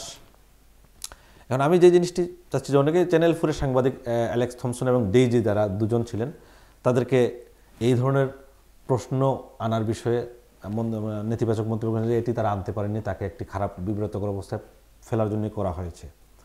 তোরা সাংবাদিকতার যে এথিক্স আছে, সেই এথিক্সের মধ্যে কি এটি পরে এরকম প্রশ্ন করতে পারেন কিনা? একটি ঘটনার সাথে আরেকটি ঘটনা মিলিয়ে দেওয়া এবং টিলিপ সিদ্দিকি যার খালা বাংলাদেশের প্রধানমন্ত্রী শেখ হাসিনা এই সূত্র উল্লেখ করে প্রশ্ন করা যায় কিনা? এই এথিক্সে পড়ে কিনা সাংবাদিকদের? এথিক্সটা হচ্ছে আপেক্ষিক। আপনার বিষয়টা হচ্ছে যে একজন সাংবাদিক স্বাধীন। তিনি যে কোনো প্রশ্ন করতে পারবেন একটা সঙ্গে একটা রিলেটও করতে পারবেন যদি ঘটনা ঘটে থাকে। এখানে তো ঘটনাটা ঘটেছে যে আহমেদ বিন কাসেম জি। এখনও আপনার সরকারের আন্ডারে আপনার গুম হয়ে আছেন। যেটা হচ্ছে আমেরিকান অ্যাম্বাসাডার আপনার তিনি প্রধানমন্ত্রীকে জিজ্ঞেস করেছিলেন যে তাদের আপনার জামাত ইসলামী নেতা অধ্যাপক গোলাম আজমের ছেলে ব্রিগেডিয়ার জেনারেল আজমি সালাউদ্দিন কাদের চৌধুরীর ছেলে হুম্মাম কাদের চৌধুরী যাকে মুক্তি ইতিমধ্যে দেওয়া হয়েছে এবং মীর কাসেম আলীর ছেলে আহমেদ বিন কাসেম। বলা হয়েছে যে তারা গভর্নমেন্ট কাস্টডিতে আছে এবং বেশি বাড়াবাড়ি করার জন্য না করার জন্য বলা হয়েছে। যাই হোক বাকি দুজনে জীবিত আছেন তো ফলে যারা দাঁড়াচ্ছে সেটা হচ্ছে যে এই প্রশ্নটা সাংবাদিক করতেই পারেন করেছেন। টিউলিপ সিদ্দিক যে কথাটা বলতে পারতেন যে here I am MP as British citizen citizen। Is also Bangladesh citizen এবং বাংলাদেশ কনস্টিটিউশনে ব্রিটিশ কনস্টিটিউশন অ্যালাউ করে যে একজন নাগরিক একজন মানুষ দুটি নাগরিক দুটি নাগরিক হোল্ড করতে পারেন dual citizenship is allowed both in UK and both in Bangladesh. বাংলাদেশেও সেটিতে কোনো বাংলাদেশে অ্যালাউ করে এটা। বাংলাদেশও করে। বাংলাদেশের স্বাধীনতার পরে আমার উনিশশো বাহাত্তর সালে আমাদের সংবিধান যখন করা হয় তখন ডুয়েল সিটিজেনশিপ আমরা অ্যালাউ করেছি। তো এটা দোষে কিছু না। দোষের যে জিনিসটা হয়েছে অস্বীকার করা- বিষয়টা। আমি বাংলাদেশে নই কথা বলা দরকার ছিল না। বলা যেতে পারতো। এখানে আমি ব্রিটিশ পার্লামেন্টের এমপি আমি ব্রিটিশ বিষয় নিয়ে কথা বলতে চাই। ওইটা বিষয়টার এইভাবে না আনলেই হতো। আর বিষয়টা হচ্ছে যে she has been travelling to Bangladesh with British passport where it is written no visa required for Bangladesh বাংলাদেশে। ট্রাভেল টু বাংলাদেশ এটা লেখা আছে ওখানে।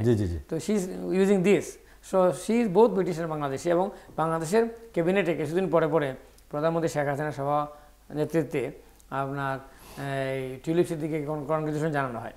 এবং টিউলিপ সিদ্দিকি বাংলাদেশে গিয়েছেন তিনি বলেছেন তার খালা হচ্ছেন তার প্রেরণা এবং রাজনীতিতে আসার জন্য। এবং বাংলাদেশের গিয়েও তিনি বাংলাদেশের প্রশংসা করেছেন যে আমার নানা এই দেশের হ্যাঁ একজন স্থপতি ছিলেন এই কথা তিনি এটা রিলেট করেছেন বিভিন্ন সময় বিভিন্ন সময় ফলে এই কথাটা তো কন্ট্রাডিক্টরি হলো। এবং বাংলাদেশি যারা এখানে আছে তার যে ভোটার। কনস্টিটিউয়েন্সির বেশিরভাগ ভোটার বাংলাদেশি তারা তার জন্য জান দিয়ে খেটে ইলেকশনে তাকে নির্বাচিত করেছে বাংলাদেশ থেকে বিভিন্ন সময় নির্দেশনাও এসেছে হ্যাঁ, এসেছে। তার পক্ষে কাজ হ্যাঁ, করার জন্য হ্যাঁ। সেটি বলেছেন এবং এই আহত দিকে। জি জি মানুষ এবং এই এই বক্তব্যের পরে তার আইনি কোনো সমস্যা হতে পারে কিনা সে বিষয়ে একটু আসছি কারণ তিনি গত বছর বেড়াতে যান বাংলাদেশে। সেটি আপনি উল্লেখ করেছেন একটু আগে। এবং ইংল্যান্ড থেকে বাংলাদেশে দুটি উপায়ে বেড়াতে যাওয়া যায়। সেটি হচ্ছে যে একটি হচ্ছে বাংলা ব্রিটিশ নাগরিক হিসেবে বাংলাদেশের হাইকমিশন থেকে ভিসা নিয়ে। আরেকটি হচ্ছে যে তিনি যদি ব্রিটিশ নাগরিক হন বাংলাদেশি ব্রিটিশ নাগরিক হন তাহলে বাংলাদেশের পাসপোর্ট হোল্ড করলে এখানে নো ভিসা রিকোয়ার্ড হিসেবে তাকে যেতে হতে পারে যেতে হবে। তো এখন উল্লিখিত কোন বিষয়ে তিনি গিয়েছেন এই বিষয়টি এখনও পরিষ্কার আমি তো কনফার্ম আমি তো বলেছি she is British citizen she is holding British passport and in in British passport she is using the seal required to travel to Bangladesh no visa required for Bangladesh this this seal is use তিনি বাংলাদেশি নাগরিক নন। নাগরিক। এখন নাগরিক বলেই তো সেটা। নাগরিক প্রমাণ করছে তার আহ, She is very visa। much Bangladeshi and she is very much British. She is both British and if you if you go through his her passport, you will find that she is British তাহলে. তা ওনার কথাটা এই যে contradictory কথা এই কথার সাথে তো সেটি মিলছে না।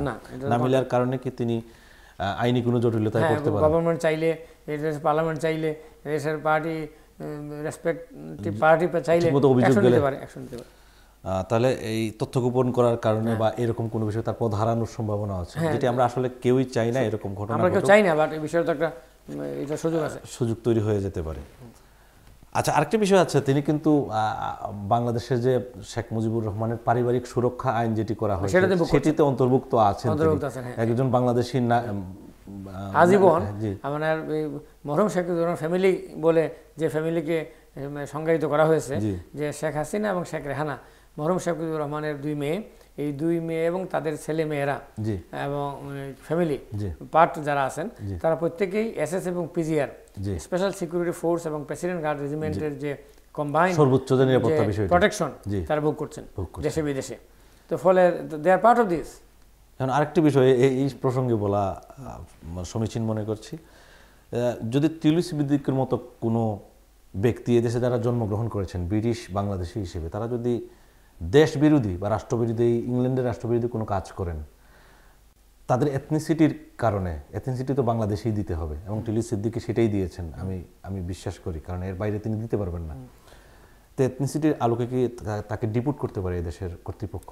এটা একটা আইন আছে এটা শুধু ব্রিটেন না আপনার কি বলে কানাডা অস্ট্রেলিয়া আমেরিকা বিভিন্ন দেশ যেটা হচ্ছে যে জাতিসংঘের একটা ব্যবস্থা আছে। যে যদি একদম ব্রিটিশ সব দেশে আইন ওইটা আছে যে সেভেন জেনারেশন আগে সাত পুরুষ আগেও যদি কেউ আপনার বাই বন মানে এই দেশের সিটিজেন হয়ে থাকে মানে এরপরের থেকে সাত পুরুষের পরের থেকে যদি বাই বোন সিটিজেন হয়েও সাত পুরুষ পার হয়ে থাকে তারপরে ব্রিটিশ গভর্নমেন্ট বা আমেরিকান গভর্নমেন্ট যে কোনো গভর্নমেন্ট রেসপেক্টিভ গভর্নমেন্ট ওই নাগরিককে হি অর সি তাকে এক্সপেল করতে পারে। ওই এথনিসিটির কারণে তার অরিজিনাল কান্ট্রিতে পারে কিন্তু একটা জায়গায় তারা পারে না। যদি কেউ অ্যাসাইলেমের মাধ্যমে যদি এই দেশের বা যে কোনো আশ্রয় নিয়ে থাকেন বা পেয়ে থাকেন তাদেরকে পারবে না। কারণ তারা ভিন্ন একটা বাই বন সিটিজেনের চেয়ে ওই বাই বন সিটিজেনের এই এই গ্যারান্টি ক্লজ নাই যেটা অ্যাসাইলামের মাধ্যমে প্রাপ্তদের আছে। ইউনাইটেড নেশনসের নাইনটিন ফিফটি টু তখন ইউনাইটেড নেশনসের ইউএনএইচসিআর এর যে হ্যাঁ ইয়েগুলো ওই ক্লজে কারণ তার জন্য পার্সিকিউশনের ইয়ে আছে এই জন্য। সেটা ছাড়া বাকি অন্য সবাই যেমন আপনার কি বলে মেজর নূর বর্তমানে আছেন কানাডাতে। গভর্নমেন্ট অনেক চেষ্টা করছে। তারপরে যেমন আপনার এদেশেও তো আছেন একজন হ্যাঁ এই দেশেও অথবা আমেরিকাতে আরও আছেন আপনার কি বলে এটাকে এরকম আরও আছেন এবং এছাড়াও যদি আরও কেউ অন্য কেউ যদি পনেরোই আগস্টের বিভিন্ন আসামি যারা আছেন হ্যাঁ, এখনও এছাড়া অন্য কোনো কারণে যদি কেউ অ্যাসাইলাম নিয়ে যদি নাগরিকত্ব পেয়ে থাকেন তাকে ডিপোর্ট করতে পারবে না। সেটি আইনি বাধ্যবাধকতা আছে। যাকে আমাদের সময় খুব স্বল্প আমরা আসলে শেষ করব পুপের একটি বিষয় নিয়ে। তিনি বাংলাদেশ এবং মিয়ানমার সফর করেছেন। আর মনে হয় দুই, তিন মিনিট আমাদের সময় আছে, আপনার শেষ করে নেবের মধ্যেই। তিনি মিয়ানমারে গিয়ে রোহিঙ্গা শব্দটি উচ্চারণ করেননি, কিন্তু বাংলাদেশে এসে একবার উচ্চারণ করেছেন। তো তার এই আচরণে অনেকে একটু মনক্ষুণ্ণ হয়েছেন, অনেকেই মনে করছেন যে তিনি শাসক শ্রেণির স্বার্থই রক্ষা করছেন এবং তিনি ভীত অনেক বিষয়ে, প্রকৃত সত্যটি উচ্চারণ করছেন না। এবং অনেকেই মনে করছেন যে পুপ, ঝুপ বুঝে কূপ মারছেন। এবং এই বিষয়টি মানে এই শব্দটি ব্যবহারের ক্ষেত্রে উনার এত সমস্যা কেন এবং মিয়ানমার কেন চায় না? গুড একটু যদি বলেন। এটা হচ্ছে নিয়ম হচ্ছে আপনি যে দেশে যাবেন সেই দেশের আইন আপনাকে মানতে হবে। এবং সেই দেশের কর্তৃপক্ষ যে আপনাকে রিকোয়েস্ট করবেন সেই রিকোয়েস্টটা আপনাকে শুনতে হবে। এবং সেই কারণে যেমন জেনারেল মোহন যখন বাংলাদেশের মিলিটারি গভর্নমেন্টের মূল পাওয়ার ছিলেন তখন বাংলাদেশের যে সমস্ত ডিগনিটারি বাংলাদেশে যেতেন তারা প্রত্যেকে জেনারেল মোহনের সঙ্গে প্রথমে মিটিংটা করতে হতো। এবং ফরেন? মিনিস্ট্রির মাধ্যমে বলে দেওয়া হতো এরকম নির্দেশনা দেওয়া হতো যেটা হচ্ছে গভর্নমেন্টের নির্দেশ যে এখানে আসলে পরে সেনাপ্রধানের সঙ্গে একটা বৈঠক করতে হবে। অর্থাৎ সেনাপ্রধান হচ্ছেন পাওয়ারের কেন্দ্রবিন্দু। এটা হচ্ছে একটা নির্দেশনা। স্পর্শকাতর কোনো বিষয় যাতে এবং সেই মতে এবার পোপ যে গেছেন মিয়ানমারে ওইখানে পোপকে বলা হয়েছে প্রথমে মিয়ানমার সেনাপ্রধানের সঙ্গে বৈঠক করতে হবে। এটা কিন্তু আগে এজেন্ডাতে ছিল না। এবং তাকে সেটা করতে হয়েছে। বলা হয়েছে রোহিঙ্গা শব্দ বলা যাবে না। সেম পোপ কিন্তু বাংলাদেশকে রোহিঙ্গা শব্দটা বলেছেন। বলেছেন। তো ফলে বিষয়টা দাঁড়াচ্ছে যে এখানে পোপ বলে যেটা পোপ কিন্তু আপনার খ্রিস্টান ক্যাথলিক অনেকে খালি খ্রিস্টান ধর্মের ধর্ম এটা খ্রিস্টান ক্যাথলিক এবং প্রটেস্ট্যান্ট দুইটা আপনার গোত্র। এর মধ্যে এটা ক্লিয়ার যে আমরা যে দেশে বর্তমানে আছি ইংল্যান্ডে ব্রিটেনে সেটা হচ্ছে প্রটেস্ট্যান্টিজম চলছে এবং আশেপাশে দেশ। আর ইউরোপিয়ান সাউদার্ন ইউরোপে ইটালিতে এইসব ভ্যাটিকান সিটি তো ইটালির মধ্যে পড়েছে যদিও সার্বভৌম রাষ্ট্র ধর্মের ভিত্তিতে একটা রাষ্ট্র ভ্যাটিকান সিটি সেটার প্রধান হচ্ছেন ধর্মীয় প্রধান এবং রাষ্ট্রীয় প্রধান হচ্ছেন আপনার পোপজন পল অর্থাৎ এখন হচ্ছেন পোপ ফ্রান্সিস আগে ছিলেন পোপজন পল ফার্স্ট পোপজন পল সেকেন্ড তো এখন আপনার এদিকে যদি ঘুরে আসেন যে আপনার এখন রাসুল সাল্লাহ আসলাম রাষ্ট্রপ্রধান ছিলেন ধর্মীয় নেতাও ছিলেন। দশ বছর রাষ্ট্রপ্রধান ছিলেন তিনি এবং উনি তেষট্টি বছর বেঁচে ছিলেন তিপ্পান্ন থেকে তেষট্টি বছর পর এই দশ বছর তিনি কিন্তু আপনার আরবের রাষ্ট্রপ্রধান ছিলেন। পরবর্তীতে তার ইন্তেকালের পরে আবুকর দিল্লাহ তালাহ উমর দিল্লাহ উসমান দিল্লাহ আলী। দিল্লাহ তালা কিন্তু একজন খলিফা ছিলেন। তো দুনিয়া জন্ম থেকে শুরু করে এই পর্যন্ত মানুষজন সৃষ্টি করা হলো আপনার প্রথমে কিন্তু আদম আলাহিসাল্লাম প্রথম খলিফা কোরআনের মধ্যে আছে। এবং উনি প্রথম খলিফা অন্য ধর্মের মধ্যে তাওরা জবুর ইঞ্জিল ইহুদি খ্রিস্টান তাদের ধর্মের মধ্যে এটা আছে যে আমাদের প্রথম খলিফা কিন্তু আদম আদম আলাইসালাম অ্যাডাম যেটাই বলেন। তো আমাদের প্রথম নবী বা প্রথম মানুষ বলা হয় নাই প্রথম রাসুল বা প্রথম মানুষ বলা হয় নাই বলা হয়েছে প্রথম খলিফা এক- রাষ্ট্রপ্রধান। তো একইভাবে আপনার রাসুল সাল্লাম রাষ্ট্রপ্রধান ছিলেন পোপও রাষ্ট্রপ্রধান। আজকে ট্রাম্পও কিন্তু কথা কথা বলেন in the name of god we trust in god এবং গডের কথা বলা হয় এই দেশেও বলা হয়। তো যেটা হচ্ছে রানীকে বলা হয় এই দেশের কুইনকে কি বলা হয় বা কিং অথবা কুইন যখন যে থাকেন বলা হয় গডের প্রতিনিধি। তো এবং দু- শপথ নিতে হয় গডের নামে এবং শপথ নিতে হয় কুইনের নামে অথবা কিংয়ের নামে। তো এটা হচ্ছে ইনহেরিটেড এটা হচ্ছে রিলিজনকে বাদ দিয়ে পলিটিক্স হবে না। তো এটা পার্ট অফ রিলিজন এর সব কিছু কিন্তু পার্ট অফ রিলিজন অ্যান্ড সব কিছু পার্ট অফ পলিটিক্স পলিটিক্স কিন্তু সব কিছু নির্ণয় করবে নির্ধারণ করবে। পলিটিক্সের মধ্যে আপনার শার্ট কী হবে আরেকজনের গাড়ি কীভাবে চলবে বার্থ দুজন সন্তান হবে না, একজন সন্তান চায়নাতে কিন্তু এক সন্তানের বেশি একবার ডাইরেক্ট এখন ব্যান্ড একটা খলিফাকে সব কিছু ঠিক করতে হবে। তো এই দায়িত্বটা আল্লাহ তালা কিন্তু দিয়েছেন খলিফাদের উপরে। তো পোপ একজন রাষ্ট্রপ্রধান হিসেবে একজন ধর্মীয় নেতা হিসেবে পোপ যে কথাটা বলেছেন পোপ খেতেছেন। পোপ সমস্যার সমাধান চান। নিঃসন্দেহে ইম্প্যাক্ট সৃষ্টি করবে। বিশেষ করে আমেরিকা ট্রাম্প অ্যাডমিনিস্ট্রেশন খুব গুরুত্বপূর্ণ ভূমিকা রাখছেন আপনার রোহিঙ্গা ইস্যু সমাধানের জন্য এবং আজকে দেখেন চায়না অ্যাজ বুদ্ধিস্ট সবচেয়ে খারাপ ভূমিকা রাখছে। ইন্ডিয়াও খারাপ ভূমিকা রাখছে। যারা আমাদের পার্শ্ববর্তী এবং আমাদের বন্ধু মিয়ানমারকে সাপোর্ট দিচ্ছে। এবং ভারতে কিন্তু পঁচিশ পার্সেন্ট মুসলমান আছে। তাদের তারা তাদের নাগরিক। এই নাগরিককে উপেক্ষা করে মোদি নরেন্দ্র মোদী যার হাতে হাজার হাজার মুসলমান রক্ত যে হাত রঞ্জিত আপনার নরেন্দ্র মোদি গিয়ে আপনার ইসরায়েলিকে মিটিং করে। এই নরেন্দ্র মোদীকে মিয়ানমারকে সাপোর্ট দেয় মুসলমানের বিরুদ্ধে। একবার চিন্তা করে দেখে না গতকাল ওবামা ওবামা মিশেল ওবামার ওবামা ফাউন্ডেশনের প্রোগ্রামে ওবামা নরেন্দ্র মোদীকে উপস্থিত নরেন্দ্র মোদিকে মিটিংয়ে উপস্থিত তাকে উদ্দেশ্য করে বলেছেন যে এই দেশের মুসলমানরা আপনার দেশের নাগরিক। এবং তাদেরকে তারা অনেক বড় বড় পদে আছেন প্রতিষ্ঠিত অবস্থায় আছেন। তাদেরকে ইগনোর করলে ডেমোক্রেসি প্রতিষ্ঠিত হবে না ভারতে। ধন্যবাদ আপনাকে আমাদের আসলে সময় একেবারেই শেষ হয়ে গেছে। আমরা অনুষ্ঠানের শেষের দিকে দর্শক মণ্ডলী আপনারা এতক্ষণ আলোচনা শুনলেন। সপ্তাহের গুরুত্বপূর্ণ সংবাদের উপর আমাদের আরও কিছু সংবাদ ছিল সৌদি আরবের রাজনীতি নিয়ে। প্লাস ট্রাম্পের টুইট নিয়ে কিন্তু আমরা সেই আলোচনায় যেতে পারিনি সময়ের অভাবে। সময় হয়নি জি আমরা আজকের অনুষ্ঠান এ পর্যন্তই। আপনারা যারা অনুষ্ঠান দেখলেন সঙ্গে থাকলেন তাদের সবাইকে শুভেচ্ছা জানাচ্ছি এবং পরবর্তী দেখার অনুষ্ঠান দেখার আমন্ত্রণও জানাচ্ছি। আপনারা সবাই ভালো থাকবেন শুভরাত্রি। আর শেষ মুহূর্তে আবারও বলছি আপনারা এলবি টোয়েন্টি ফোর টিভির অ্যাপসটি ডাউনলোড করে নেবেন। করলে আপনাদের জন্য সুবিধা হবে দেখার।